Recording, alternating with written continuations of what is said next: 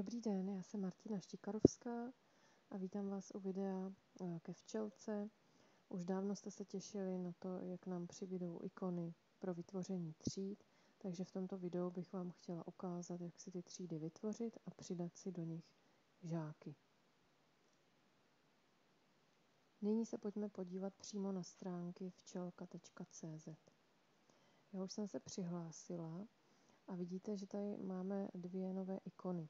Přidání čtenáře už tam bylo, ale změnila se podoba eh, tohohle tlačítka a nově je tu tedy přidat třídu.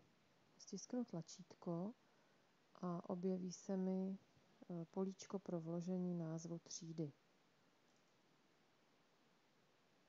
Je to velice jednoduché, vepíšu tam jenom název a přidám třídu.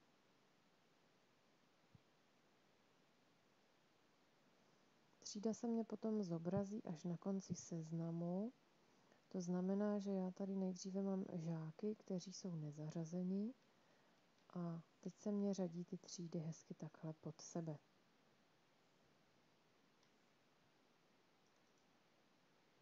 U každé třídy mám tři tlačítka. Můžu si nechat zobrazit cvičení, v současné době ale tam žádná cvičení nemám nahraná. Můžu je upravit, to znamená navkládat, a nebo si dát nastavení třídy, přes které budu vkládat e, přímo ty jednotlivé žáky, které už mám vytvořené v té aplikaci a, a jsou zatím mimo tuto třídu. Takže já si můžu vybrat žáka ze seznamu a vyberu jeho jméno, dám přidat žáka. To je opravdu velmi jednoduché a už se mě tady zobrazuje nějaký seznam těch žáků.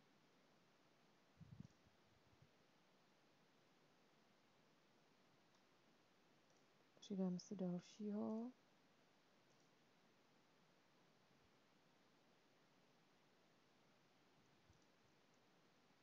A mám hotovo.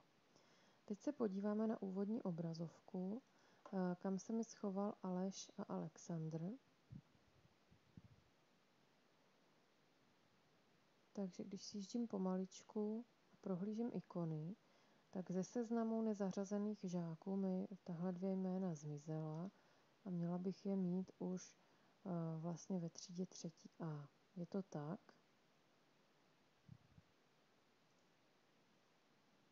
Co se ale stane s žákovským účtem, když si ho v nastavení uh, vlastně smažu z této třídy?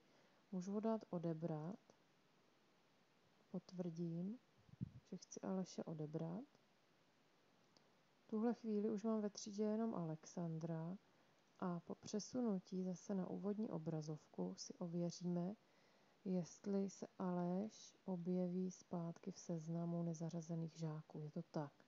Takže tam by se vám ten účet vrátil i s těmi cvičeními, které jste pro tohoto žáka nastavili. Ve třetí třídě mi ještě zbývá Alexandr a my se podíváme, co se stane s tímto žákovským účtem, pokud smažu celou třídu. V nastavení dám smazat třídu, potvrdím a podívám se opět na úvodní obrazovku. Ve třídách už mám pouze ty třídy, které jsem tam měla před smazáním třetí třídy a vrátil se mě sem jak Aleš, tak Alexandr. Oba tyto účty se sem vrátily beze změn. Teď už mi nezbývá nic jiného, než vás pozvat k dalšímu videu, kde si ukážeme, jak hromadně zadat žákům práci.